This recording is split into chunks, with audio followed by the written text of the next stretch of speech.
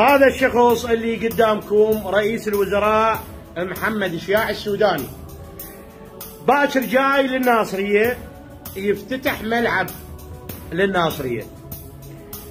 جاي للمركز. ببغداد يشتغل بس بمركز المدينة. قل لي بضميرك يا رئيس الوزراء أنا ما عندي شيء وياك ولا شايفك ولا أعرفك.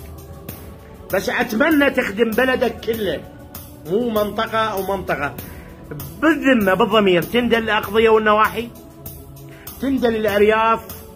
هم مريت لك على فلاح؟ هم مريت لك على مزارع؟ يعني أنت اختصاصك بس مركز؟ ترى للعلم. العندنية. يخدم بلده ما يجي بس للمراكز. يجي يفتر الأقضية والنواحي. آخر شيء يروح للمركز. ليش؟ المركز كل الحكومة بيه وكلها تخدمه أما الأقضية والنواحي منسية. ترى وأنتم اليوم ما صعدتوا إلا من الأقضية والنواحي هي صعدتكم. فيا رئيس الوزراء أنت إذا تجي بس للمركز وبس تفتتح الملعب غير مرحب بيك.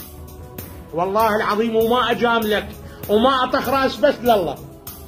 فأنت إذا تجي بس للمركز. وعايف الأقضية والنواحي مهمشة. أنت غير مرحب بيك. اللي جيت والما جيت. أنا بالنسبة لي لا أقول لك لا تجي ولا بس أنت غير مرحب بيك من الأقضية والنواحي.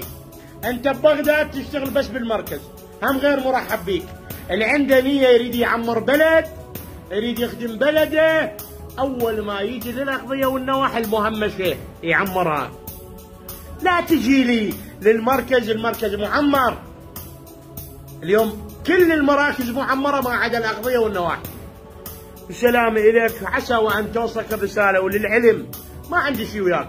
الخدمت والما خدمت أنت اليوم محاسب أمام الله. باكر يحاسبونك 40 مليون. في مال الله